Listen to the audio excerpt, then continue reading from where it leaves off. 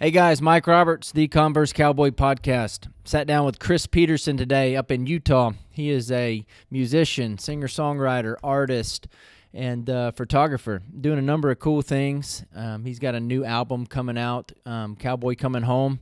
Um, but above all, he's just a genuine guy. And um, y'all check him out at Die Hard Cowboy on Instagram and uh, listen to the show. Let us know what you think.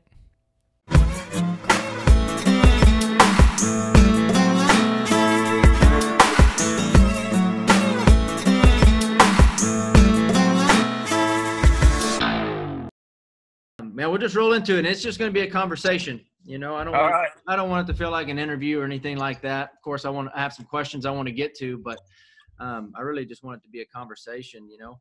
Yeah. And um, you know, top of mind right now is how everything's changed. You know, in these weird times that we're in, COVID nineteen, with the coronavirus, and I guess how that's affected what you have going on. You know, I'm sure our, I'm sure all tours have been canceled um, how does that affect your day to day? Yeah, the, the music part of it's uh, a little bit rough. I mean, pretty much all your shows are canceled, and it, it, it sucks. But um, we're we're doing all right. We're finding other productive things to do, like writing new songs and working on the show. Um, just trying to fine tune little things. It's actually that part of it's good. We get to sit back and reflect and figure out how can we get better. So just trying to make the most of every moment, no matter what it is. Um, and right now, it's just we can't we can't be out there doing shows, so it's stay home and fine tune your game. Yeah, yeah, I think that's the only way to look at it. At least from my mindset, you know, I guess you have two different choices. You can sit there and feel sorry for yourself and the rest of the world, or you can get still and, like you said, reflect on what's going on and really, you know, take the time to do dive into maybe something new, or for, for somebody like you, maybe dive into some new songwriting. Yeah.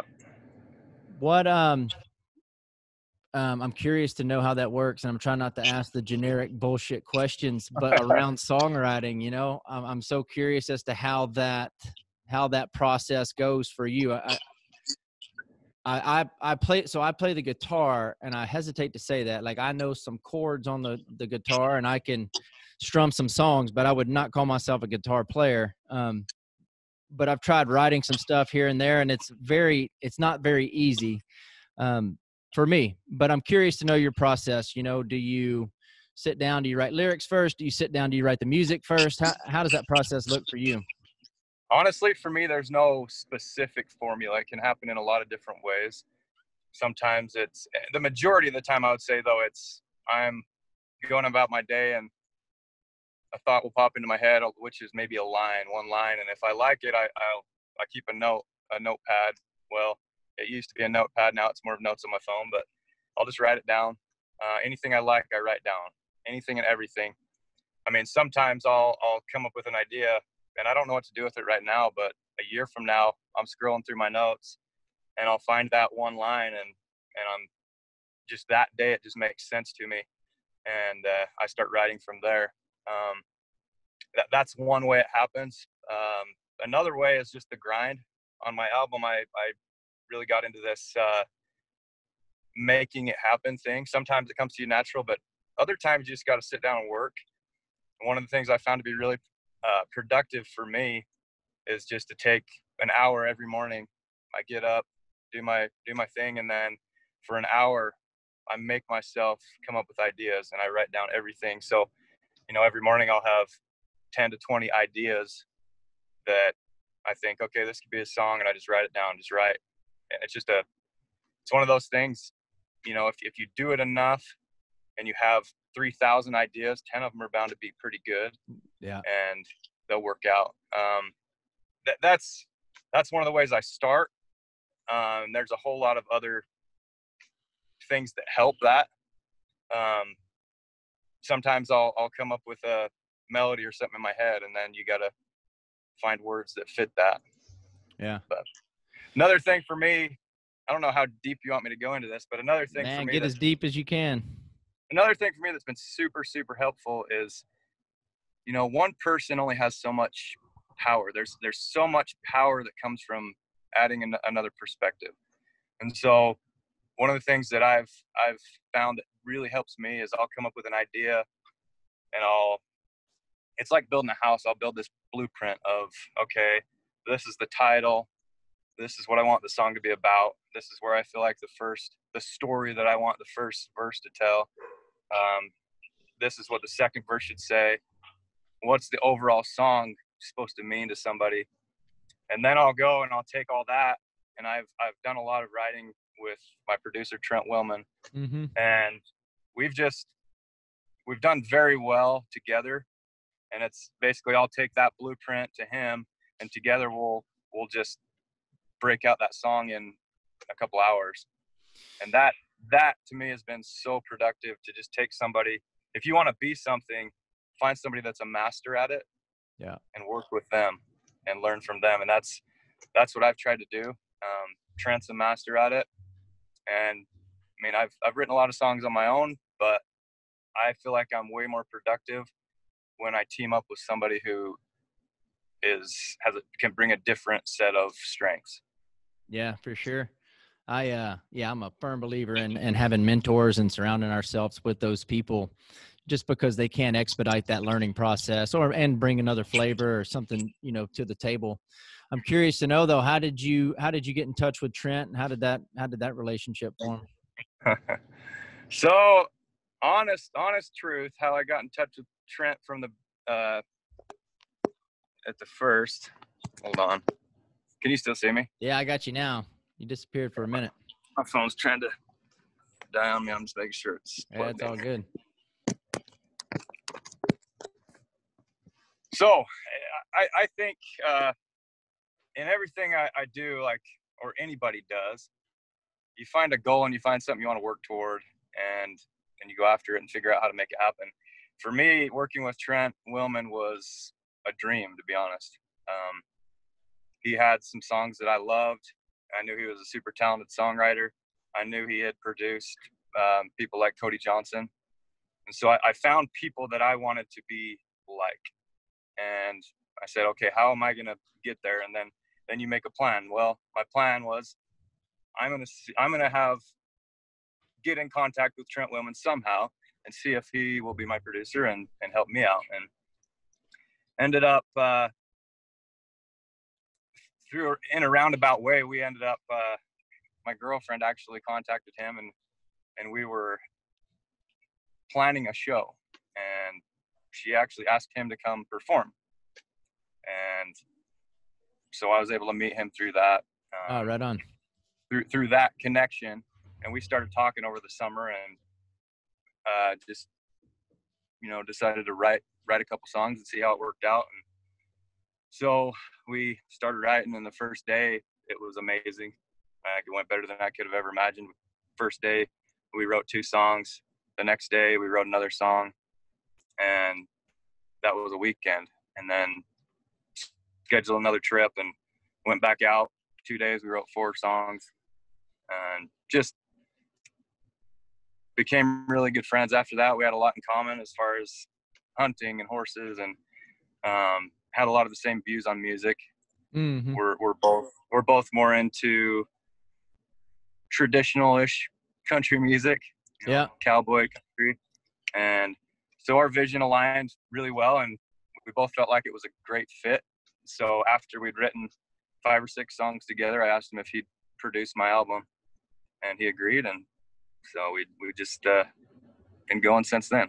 Yeah, right on. I was um, I was reading your bio and uh, I saw the name Trent Willmon. I'm like, God, where do I know that name from? And then I was like, Oh yeah, I don't know. Some years back, Chris, I remember hearing a song called "The Roping Pin." Yeah.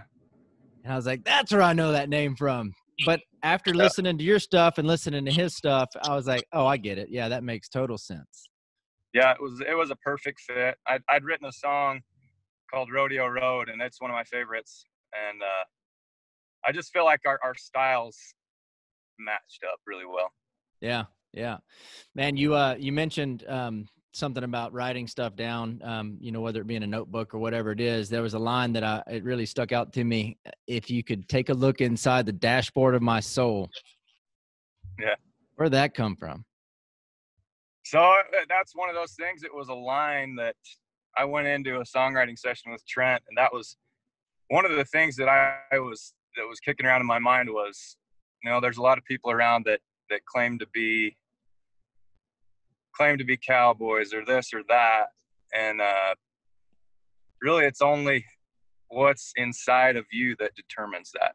There's there's a lot of people out there who will say, well, you can't be a cowboy because you don't do this or you don't do that or you don't have 500 head of cows. And to me, it's it's more what's inside makes you cowboy. And uh, mm.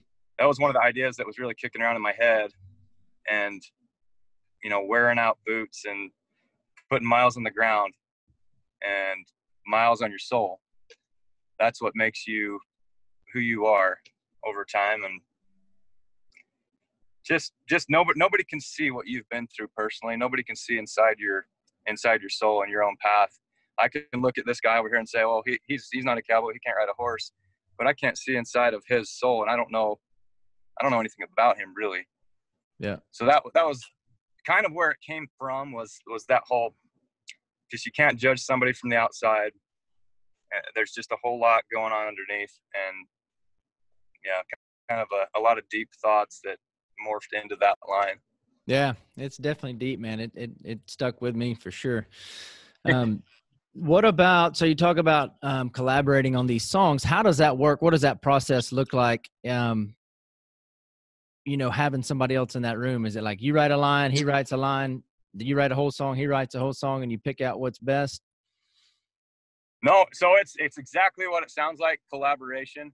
So you basically I'll, I'll bring a blueprint of a song and and from there we just start putting nails in right? You're building a house together. And it's not like somebody is saying well i'm doing this and i'm doing that. It's you both just start throwing out lines and throwing out ideas and together you pick what's best. Because you both know well whoever's working on the project knows if you're honest and, and that's what goes into like having having a good fit in someone that you're riding with Mm. A lot of mm. times I feel like people could get a power trip or they're like, oh, I want this, or they have to have it their way. And, and I feel like to have a good, healthy collaboration, you can't do that. You can't be selfish. You have to go in and say, okay, what is the best idea? What is the best solution to this problem? And together you just hammer out ideas and ideas and ideas. And just can't have any pride involved. It's, you yeah, take the you best gotta, ideas and Yep. So we'll just both sit there with with I'll sit there with a pad and paper and my guitar, and he'll sit there and this the same thing. And he's very talented on the music creation part of it, and uh, so it, it's just one of those things you just work together and work until it's done. Yeah, I read. Uh, Throw out ideas and kind of go. We usually go line by line and um, okay, let's work on this next line and then we we both start spitting out ideas. And okay, I like that. What about this? What about that? And you just keep modifying it as it goes. Yeah, I read uh, Guy Clark's um, biography. Um, I don't know a couple years ago, and he talks about half the battle is just showing up. You know, yeah. just going to the studio every day. I think his time was like ten o'clock, and he would go in, and he's like, "Man, that's just half the battle. Just show up." Yeah. But um, what about some of those songs, Trent, that maybe you've written that you've never recorded? I'm wondering how many of those are sitting in a notebook somewhere that that nobody's ever heard before. As far as ideas, man, I've there's hundreds of them. Uh, yeah. When when I go to Nashville to write, or if I sit down at home and write, I'll basically just bust out. I've got old folders just full of full of papers with lines and lyrics and ideas and some sometimes they don't even make sense to me anymore. I'll look at it and I'll be like, I don't know what I was thinking that day, but I wrote it down. yeah. Sometimes some of my favorite songs though come from that. I'll I'll go back. I mean, two years, and I'll read a line, and I'm in that day. I'm just like, I like that. Let's run with it, and uh, turns into be turns out to be one of my favorite songs. So.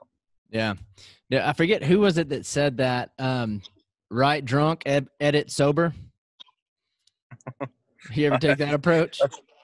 No, no. I actually, yeah, I, I don't personally, but I could see how it would help. Sometimes I've written really tired. Yeah. I got you. I know that was uh I think it was Steve Earle, you know, I was back in his the heydays of Copperhead Road and all that stuff and he was all hopped up on whatever he was taking and he got clean, and that was his biggest fear was he wasn't going to be able to ride anymore.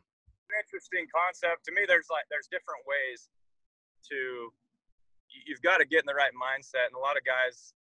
This isn't my personal style, but I know it works for a lot of people. But they'll they'll they'll alter their state of mind, mm-hmm. and whether that's from drinking or whatever, they'll they'll a lot of guys will do that. Um, for me, it's more yes, I'm going to alter my state of mind, but it's going to be through some uh, natural form. Like maybe I'll go up on top of the mountain, and I've I've written songs on top of the mountain before. I'll sit, I'll just sit down on a rock, uh, overlooking the canyon, and start writing what comes to mind. And uh, you know, it's just about changing your environment, changing your perspective, and and sometimes it's just some crazy off the wall idea that comes to you, and you just got to write it down. Yeah, yeah, that's interesting. Um, have you ever done like the week long in a cabin or for a month or anything like that? To... Um, not the week. No, I I usually do a weekend. Um, yeah. so you know, three days. I, yeah. I gotta hold down a job, so I don't get to do that too often. I got you. What do you do? Uh, what do you do, Chris, outside of playing music? outside of music and the cowboy photography thing, I I actually do graphic design and video production. Right on. And uh, yeah, just I've been doing that for several years. So is that um it, that I got to think that's part of Die Hard Cowboy. Is that uh, what that yeah. is? So Die Hard Cowboy, basically, I've always had a passion for um, imagery. So I started out actually in Western and wildlife art. I would draw pictures, and there was a while there I thought I was gonna do that for a living, and you know, I, I spent a lot of time. It would take me a week to finish a drawing, and I'd turn around and try to sell it. But at that point, I was so connected to the drawing. I'm like, I don't even want to sell this. I've spent so much time on this, and uh, so I, I gradually moved away from that, and I got into video production and photography and I came back to building art basically through photography because you essentially do the same thing. You you see an image or you see something in your mind and you go create it. Only with photography, it's a few seconds and I can create an image, right? Mm-hmm. And so it was just a, a, lot faster turnaround. It was the same idea where I get to create, um, and so I started doing Die Hard Cowboy. Basically, came from my love of horses and the Western lifestyle and culture. And I wanted to share that with people who maybe didn't have access to that or, you know, they weren't born into it, but show them a glimpse of what that Western lifestyle is all about. So I started just taking pictures of horses. And when I was out, if I was out riding, um, I would take pictures of everything that was going on and just share them with the world. So yeah. that's kind of where the Die Hard Cowboy thing started. When was that? How long ago did you start that? Oh, I think it's been. I started doing the the like selling photography probably close to 10 years ago. And I started out going down to the National Finals Rodeo and I had a booth down there and I would sell prints. And just over time, I've, I've gradually moved away from that and more into the social media. I've been doing the Instagram thing for probably six years. Um, doing it well, too, by the way. Well, I've had fun doing it. It's just one of those things. Try to, like I said, try to share a little bit of the things I love with other people who maybe don't have that chance. Yeah, yeah, yeah. It was cool to check all of that stuff out, and I mean, shit, over a hundred thousand something followers. Um, that's impressive. There's a lot of folks out there. You know, everybody wants to be cowboy, right? And and like you said, yeah. maybe not everybody has access to horses or whatnot. So yeah. that uh, that's really cool what you're doing let's uh, i want to shift gears a little bit talk about you know some of the performances and maybe some of the struggles you faced early on you know with overcoming fears resistance whatever it may be of of uh, actually climbing on the stage and and doing your first show yeah so there was a lot a lot of fear in the beginning my my whole life growing up i was extremely um quiet reserved and there wasn't a chance I was gonna stand on the stage and sing in front of anybody. I wasn't even gonna stand in the bathroom in the shower if anybody else was in the house and sing. If anybody yeah. could hear me, I wasn't singing. I was just I didn't even like to talk in front of people. And I mean, even today, that's not my strong suit. Um, so getting on stage just terrified me. I, there wasn't a chance I was going to do it. Uh, growing up, my dad was a, my dad was a singer, and it was the last thing I was going to do. That was my dad's thing, and he has a totally different style than me. He has more of an operatic style, and uh, in my mind, I didn't, I couldn't sing. I was like, I can't sing like that, and so I just didn't do it. But I always had lines and lyrics in my head, and I was always, I would, I would always sing to myself, and be writing songs, and but I was just afraid to do it, and the the desire to do it at, at some point just got stronger than my fear basically. Mm. I, I, had a group of friends that put me in the right environment made me feel more comfortable. Uh, several of them were really good at the guitar and so we'd sit around at night and they would just play a, a melody or just play chords and i would sing. I'd make up lyrics on the fly. Hmm. we'd just play games like all right we're going to go around in a circle and you take turns writing a line. And we did that all the time. And i realized i just i loved it and it, it, was just something i wanted to do more. And the more i did it the more i wanted to do it.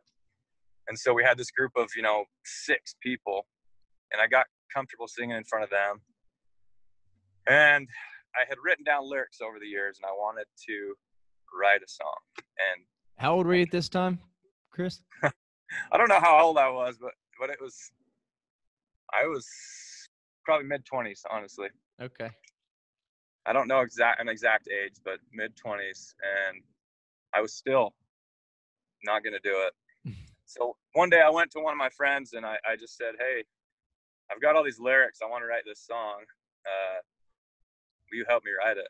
And she's like, "Yeah, sing it to me." I'm like, "No, not gonna do it."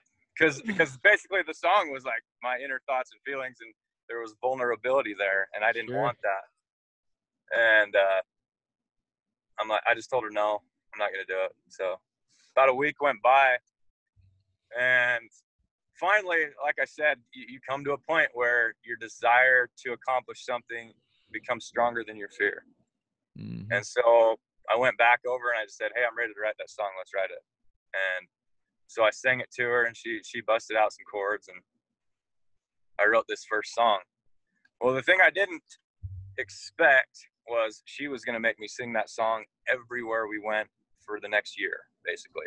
So we just had this real close group of friends, and every time we went anywhere, they would peer pressure me and say, "Chris is going to sing a song." The first couple times, like, "No, I'm not." And then they'd start, they'd start, you know, playing the guitar, and finally, I broke down and started singing it, and I did it in front of four people and then 10 people and then 15 people. And pretty soon I was okay with the idea and, and it got easier. And then there came did you at that time though, did you realize your talent? Did you realize you had this ability to sing and? Uh, I don't know that I realized I had this a talent or a, an ability, but I enjoyed it. Uh. Um, I loved writing songs and creating and singing but it was something that it really it really took time to develop and for me to say you know what this is what i want to do and um, let's see it, it, probably took another year i started really uh, working on the writing on the guitar and writing new songs and i wrote a couple more songs and pretty soon i had enough songs to write an album or to produce an album so were you? I'm curious know. to know. Were you playing at the? Were you playing the guitar at this point? Yeah. So I was playing the guitar, and uh, I did, I just started writing songs, but I had all these songs, and I, I just didn't know what to do with them. And so one day I just get this idea in my head that, well, I'm just gonna make a CD. I don't I don't care if anybody else hears it, but I've written all these songs, so I wanna I wanna record it. And a lot of the songs were very like simple, you know, they were they were simple and they were but they were my songs, and so I wanted them. And so uh, I knew a guy that had a recording studio. He was actually my, my dad's. He would do all my dad's recordings when I was a kid. And so I found his number and I called him and I said, Hey, I don't know if you remember me. My dad used to record with you. And he said, Oh, yeah, for, for sure. And I said, Well, I, I want to come record some songs. And he agreed to it. And so I showed up and sang through all my songs and we put them down. And I released this first album and I had still never been on stage in front of anyone.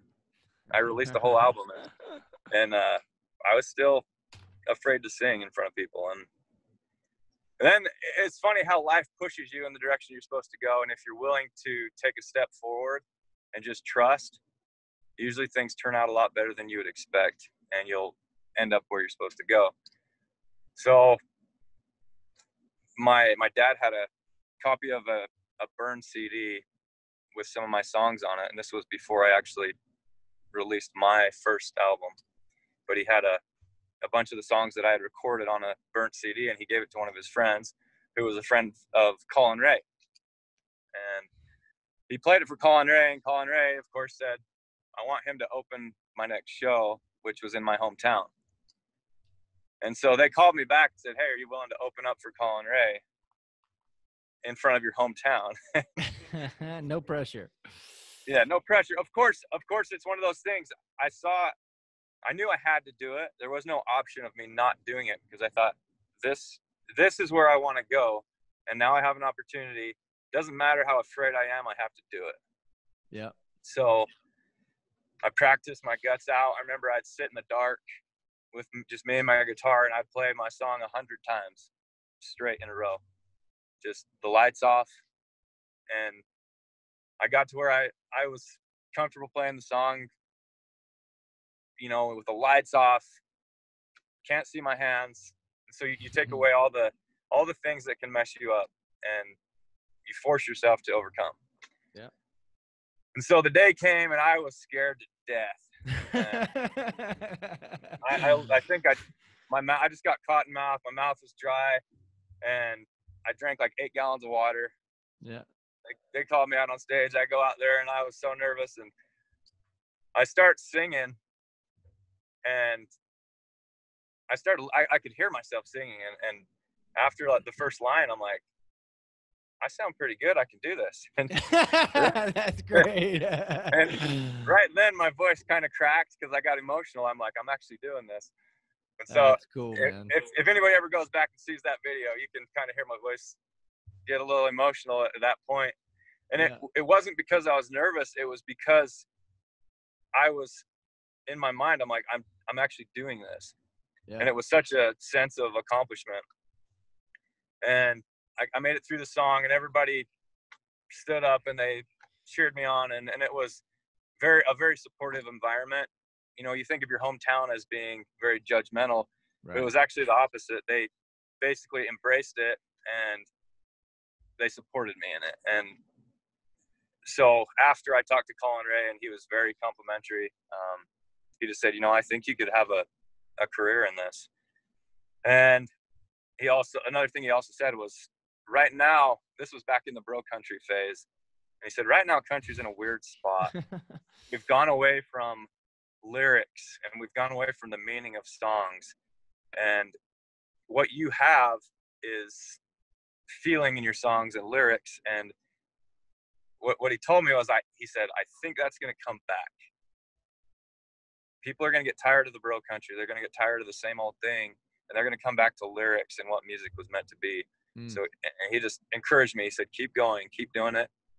I, I think there's going to be something special for you if you keep after it." So at that point, I, I in my mind, I was just, "Yeah, I'm going to do it, no matter what it takes." And so I went home. I found people to be in a band, and I forced myself for the next year once a week I would sing. There was a local bar that had an open mic night, and I forced myself once a week to sing.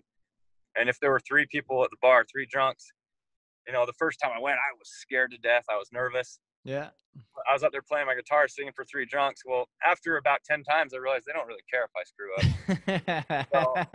so, gradually, I got over that fear and yeah. I just kept going and singing for bigger and bigger crowds. And, and at a certain point, you just get to where for for me anyway, I got to a point where I enjoyed it so much, and it was a it was just a rush to be on stage, and the fear basically subsided, and and I feed off of that adrenaline rush, and it's just a lot of fun. Yeah, it's uh, nothing like it. I saw a quote the other day. It said, "Everything's scary until it's not." Yeah, it's the truth. Kind of the same thing, right? I mean, the more you Exactly. do something, the, the more you do something consistently, the more the more confidence you're going to have. But I think it's important, man. Like everybody has struggles, everybody has has fears or challenges in some way, whatever that may be. And um, man, that's just a, that's a cool story um, of you getting up and doing that. And then you're right, yeah, the, the way timing, everything happens just as it's supposed to. You know, Collin Raye asked you to do that at the right time and in your career, and um, and and you, and you have a choice as everybody does to either step up and do it and move forward and grow or you you just go sit on the sidelines you know? Yep. but um that's cool man. So from there um you go on uh, and you're doing your thing and i'm sure there's it's not as with anything there's no linear path. It's not like you did that one show and, and then went on to stardom you know? It's a roller coaster i'm curious to know what you do chris whenever you do get unclear or unfocused um, whether it be songwriting or whether it be on life on the road how do you kind of realign how do you how do you find your center again So my my reset uh, has always come through horses. So if I need a reset, I need to really get my mind straight and and come back to earth. I'll go ride my horses. I'll go up in the mountains and uh, just disappear, usually by myself, and just be alone and think. And usually that brings me back to a point of focus. So that's what I do. Yeah, I, I know exactly what you mean. Um, why do, I'm curious though. Why do you think that is though? What is it about getting on the back of a horse and going riding that that does it? It's almost like meditation in a way. Yeah, I, I think there's there's something to it. Um, and I believe this is kind of a weird thought, but I believe there's there's something with there's something with music, but there's also something with horses and animals where it's a totally different language. And like music, um, you you can feel music, right? you Mhm. can connect with somebody from playing music or you hear a song and it it hits you and you don't know why well i, th- I feel like it's the same with animals and and especially horses for me I, I don't know exactly what it is but there's some kind of a connection and ever since i was a kid i was just drawn to horses and, and how they made me feel they're, they're just you know i've heard it said that they're a mirror but i feel like that's there, there's so much truth to that if you approach them in a soft, calm way, more than likely they're going to react to you the same way. Hmm. And you can just look in their eye and, and I don't know, there's just peace there for some reason. Yeah. I, I can't explain it, Yeah. but, but it's there. There's some kind of a force. I feel like that with the whole horse therapy thing. I can't explain it, but I can tell you that there are people who, who have mental struggles or physical struggles and they get on or around horses and it changes immediately. But That's I. I can't tell you why. yeah. Do you remember? Do you remember the first horse you ever had? I do. it's kind of a funny story, but Yeah. Let's hear it. so growing up, uh, I, I didn't have a horse when I was young, but it, it was the only thing I wanted. I loved horses, and my grandpa had horses, neighbors had horses, and I would ride as much as I, ki- I could. I'd go over to my grandpa's, and I remember he had one pasture that he would lease out to a guy that had like 40 head of horses. And I would go down there as a little kid, and I would just walk through this giant herd of horses, and I just loved it. And I would, you know, walk up to them, and after a while, it was just this desire. I just wanted my own horse, and the neighbor lady'd come over and take me on rides when I was just tiny. Um, I remember when I was probably. Usually, you don't remember things when you're three, but I remember my grandpa had a buckskin horse, and he brought it into our backyard. And I remember my grandpa sitting me down on that horse, and I I, I had to have been about three or four years old, and I still remember that. And so ever since then, ever since I can remember, I just all I wanted was my own horse, and I'd beg my parents and and they weren't about it. My my dad rodeoed when he was in younger, and he grew up on a dairy farm. And as soon as he was old enough to get away from the farm, he did. And so they, they didn't really want me to have a horse. And about the time I was 11, I saw this. Uh, well, it was actually one of our neighbors said, "Hey, the four, local 4-H in this breeding barn is giving away a colt, and all you have to do is write an essay to enter. And I think Chris should do it." Well, so I I heard about it. I went to my dad and I said, "I, I want to do this. I, I want to try to win this horse." And he reluctantly said, "All right, let's do it." And uh, he actually helped me helped me write the essay a little bit. But I just I wrote why the essay was why should you have this horse? Why should you win a horse? And so, of course, in the most sincere way, because that's all I wanted. And I, I, wrote this essay called all the idols that I had at the point. I was friends with all the old cowboys in town, and my mm. dad would take me over to talk to him, and I'd show him my little toy horse collection. And there was an old guy named Spike Makem, and he was the horseman. Everybody knew him. Everybody would go to him for horse advice, and he lived. He was probably a quarter mile down the street from us, and I'd I'd walk there when I was a kid, and I'd show him my toy horses, and he'd sit there and tell me what breed they all were, and tell me about them. And I just lived for those moments, and to to see the knowledge that he had. I think he was about he was 77 when I first started going over there, and uh, I just became friends with all those old guys, and they'd kind of take me under their wing. And so when I was writing this essay, we just called called these people and, and I said, okay, what does it take to take care of a horse? And so they told me everything they knew about, about what they thought I should know to prove that I could take care of a horse. And so I put all that into my mm-hmm. essay, how much I, I'd need to feed them, how much I, what, how I would do everything, you know? Yeah. And submitted it. I ended up winning this horse. so I won my, first, won my first horse when I was 11. And honestly, at that point, they were just, they were happy to see me have a horse. Like, they were very supportive in it. Um, and they helped me as much as they could. So I, I one of the requirements was you had to do horse 4-H for two years and show the horse. And it was just a yearling when I got it. So of course it was the whole process of um, showing and, and it was a halter class at first. And then um, one of these guys that had taken me under their wing, his name was Max Gines. And he helped me train my first horse. And I fell in love with starting horses. And, and that's, man, I just saw you we, we took this animal that was kind of crazy and it, that one was half Arabian, so it was super crazy. And and I, I, realized that why they gave it away. yeah. yeah. Anyway, it was a little wild. Half half quarter horse, half Arabian, so it had a wild streak. And but Max was super super good at uh, training these horses that were a little bit high strung mm. and making solid mountain horses out of them that weren't scared of anything. And I watched that transformation. And he he instead of just training that horse for me, he took me, and I basically had to do a lot of it. And he would just tell me what to do and coach me. And that's I think a huge part of learning is you find someone who knows how to do what you're trying to do. And if they're willing to help you, you just listen to everything they say and yeah. spend as much time as possible and that's what I did, and I just fell in love with it. So after that first horse, it was just one after the other. I just kept kept doing mm. it and trying to learn. It was just there, and and that's what I find even today. There's always always something to learn.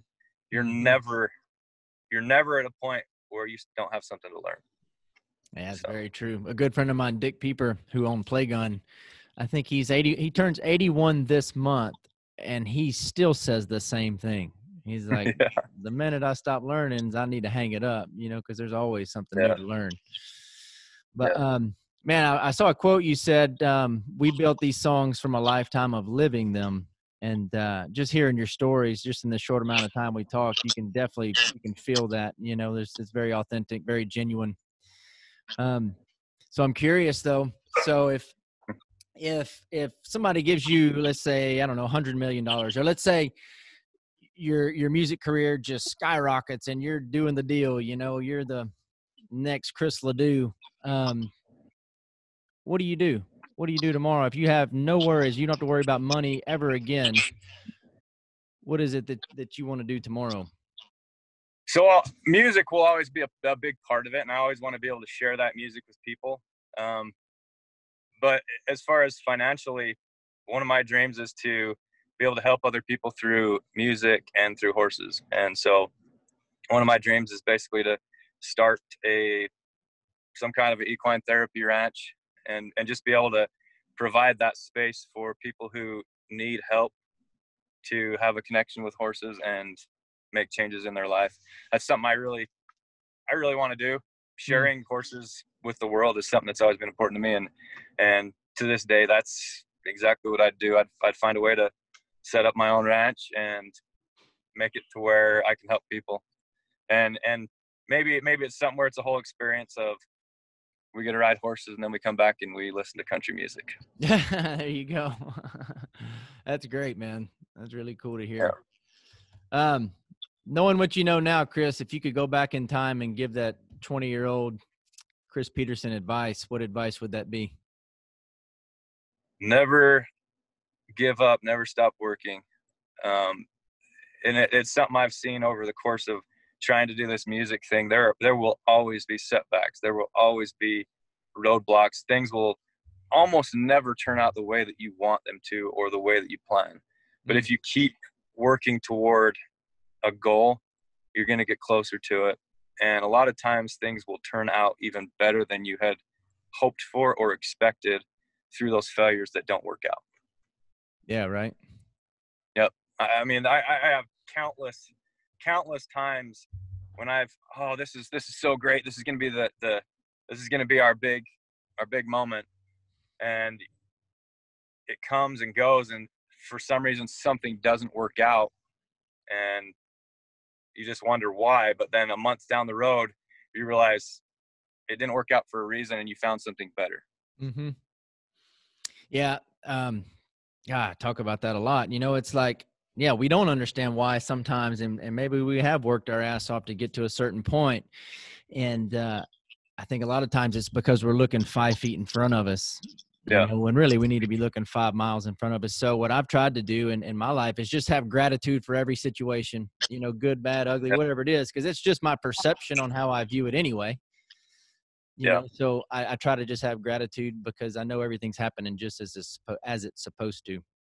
But um, yeah, that's a good point. Well, man, I got uh, I got two more questions for you. First one is something I ask everybody that comes on the show. What is your definition of a cowboy? It's it kind of goes back to what I was saying earlier, but I think it's something in your soul. It, it's it's not what boots you wear. Uh, it's in your soul. It's it's in the fabric of who you are. I think it's more about being genuine um, more more about i honestly would say more about your inner values and, and your core values and who you are as a human being than what you do or how you dress. Mm, very well articulated. That may that may not make any sense at all but that's no, kind of perfect sense man. It's it's that's deep but that's good. That's really good that's the um, whole that, that was the whole idea behind that if you could take a look inside the dashboard of my soul, it's it's that. It's man, you, I, I can't look at somebody and say you're not a cowboy. Yeah, yeah. Which you did. I mean, I think you you you I somewhat did answer that um, before I even asked the question earlier in the show. But um, well, man, I've enjoyed the shit out of of, of this, um, Chris. Really. Um, you're just you're a genuine guy, very authentic, and and um, it comes through in your music. It comes through just from talking to you. Um, if folks don't know about you, where can they um, where can they find out more about Chris Petersen and, and your music? So the, the easiest way, obviously, is the Instagram at diehard cowboy underscore. Um, kind of built my whole page there around that the same idea is horses, cowboy music. Um, everything that I feel like is important to me. So that's what that's all about. So that's how social media wise you can find me. Um, music wise, you can find my new album on uh, Spotify, iTunes, Apple Music, Amazon, pretty much anywhere you can find music. You can also go to my website, order a CD, and I can get you an old school copy of a CD. Right on, man. Yeah. Cowboy Coming Home, right? That's the new album. That's right. That's right. Cowboy Coming Home. Yeah. Produced by Trent Willmon. Yeah. I uh, co wrote a bunch of those songs with him. I wrote a few of them uh, on my own before from just my life experience. So, right on, man.